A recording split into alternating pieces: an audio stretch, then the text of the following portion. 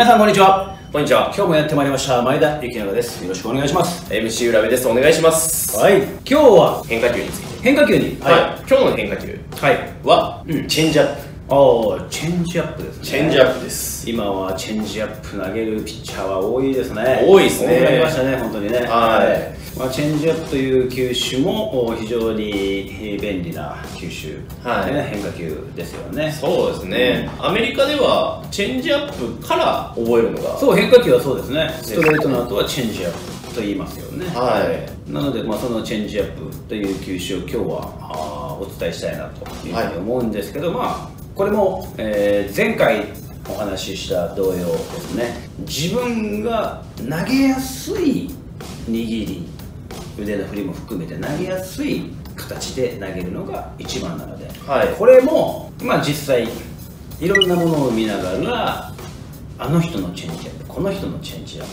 っていうのを自分に合うものを見つけてもらいたいなとはい。思いますはい。じゃあその中で、えーまあ、チェンジアップのオーソドックスなところですね、はい。よくまあオーソドックスなところは。大体この2本ですね。はい。あ、そうやって握るんですね。大体こういう選手が多いですね。はいはいはいはい。まあ多い。いやでもチェンジアップにしては本当にいろんなチェンジアップがあるからスライダーよりも握りがみんな違うかもしれないですね。はいはい。こういったケースの人が非常に多いと思います。でその時にまあ当然まっすぐと腕の振りは同じじゃないですかだからここの縫い目とここの縫い目ですね、うん。中指と薬指ですね。でボールはここはまあ OK っていう形をこう作るこれが OK ボールって言われるじよく言いますけどね。はい。で大体この形。でイメージ的にはこっちを向いてるイメージですね。投げる時に。こうではなくてちょっとこう向いてるイメージ。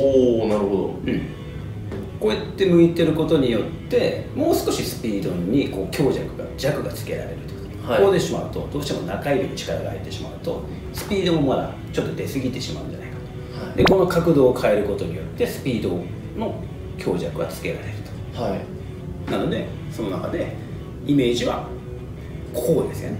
はいはいはい。イメージはこう。自分の中指薬指の方から抜けていくっていうのがおおよそ大体みんなが一番簡単に投げれるんじゃないかなっていうチェンジアップですはい。で空振りを取りたいとかいういろんなあーこともあると思うんですけどチェンジアップっていうのは実際これぐらい変化すればバッターの手元でこれぐらい変化してスピードの差があれば、まあ、タイミングをずらすことができる、まあ、芯を外すことができるっていう球種ですよね。途中でストライクに見えて当然低めに行けば、まあ、空振りゴロになったりするんですけど、まあ、もちろん高めに行くとねこれも反則球の恐れはあるので、はい。まあ、危険なボールでも当然ありますけどチェンジアップに関してっていうのは大体この形。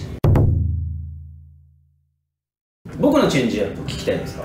お気長チェンジを教えていただけますか？僕のチェンジアップはあの投げれる人多分いないんじゃないかなって思うんですよね。なんかあのスローの画像で見た時、うん。かなり特殊な指が立ってるんですかね？指立ってますね。ですよね。なんか、は特殊な握りだったと思うんですけ特殊ですね、はい、で僕が投げていたチェンジアップっていうのは、まずはこんな形ですどわしづかみです。わしづかみですわしづかはい。みわしづかみの中で投げる時にピッて立てる投げるときに立てるんですか？ここまで。ですこの辺はもうふわふわと一応軽く握ってて、で投げに行く時にふって。そして縫い目は何にもかかってないでしょ？はい。僕はここから抜いて滑らせる。そうです。こう抜いてました 並大抵の技術じゃないですよなかなかできないでしょうね。でこれも抜くんですけどイメージはこれがこっちを向いてるイメージです投げる方向。なるほどなるほど、うん。こういう感じで、そう。なので僕のチェンジアップっていうのは今、えー野球選手が投げてるチェンジアップよりも全然遅いです。でああなるほど。110キロぐらいです。こうやって投げるんで。大体チェンジアップってこう、まあ、130、まあ、145のピッチャーが投げれば135ぐらいがチェンジアップなんですよ、はい。まあ、僕の場合はまあすぐ140弱ぐらいであれば110キロぐらいのチェンジアップってことで、力が入らないですよねこれ。そうですね。力が入らないってことはボールもいかないってことですよね。でこの中でしっかり、まあ、腕が振れればから抜けていくと。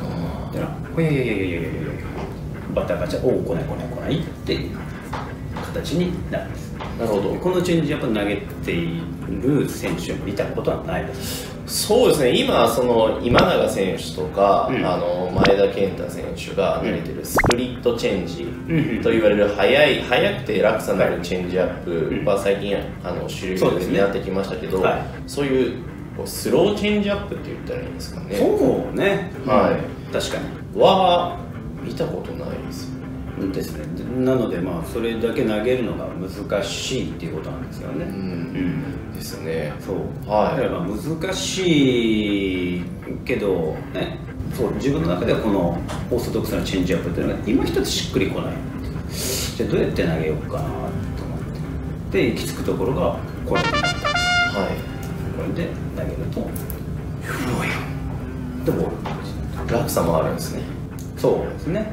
うんまずこの球種にも、まあ、現役時代を助けてもらったことも多々ありますし、はいまあ、当然打たれることも、ね、ありますけどこれぐらい、まあ、このチェンジアップっていうのも難しい、ねえー投げ方もあれば一番オーソドックスで優しい、ね、投げ方もあればと。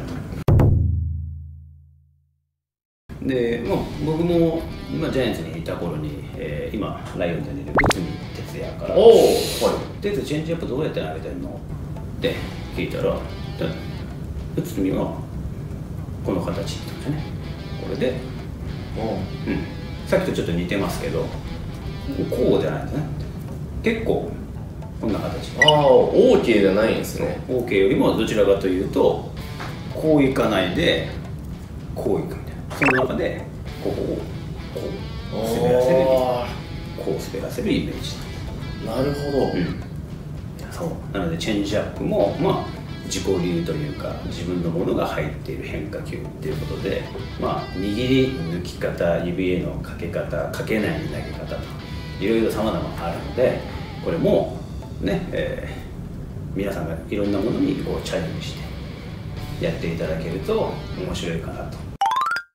キャッチボールの時に変化球って覚えるんでキャッチボールの時にいろんな球種を投げたらはい。面白いと思います、自分なりに、はい。自分なりのカーブ自分なりのスライダー自分なりのカットボール自分なりのチェンジアップ自分なりのフォークボールっていうのはそうやって探すとやっぱり面白いと思うんで、ですね、えーなのでチェンジアップは、えーまた最近流行り流行りっていうとあれですけどね最近ね、えー注目されてる球種でもあるんで、はい。ぜひ試していただきたいなと思いますね、うん。まあ、そあのこれ参考に自分なりのはい。参考にそう編み出しましょう。チェンジアップです。